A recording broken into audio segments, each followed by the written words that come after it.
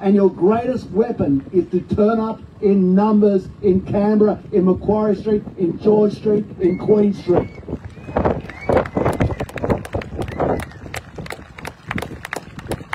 And the bullet you have is that little piece of paper. And it goes in that magazine called The Voting Box. And it's coming up. Get ready to load that magazine. Go, goodbye, Chris. Goodbye, Stephen. Goodbye, Albo. And when they see that, you know what? All of a sudden they'll let you into their office for a meeting, a quick meeting.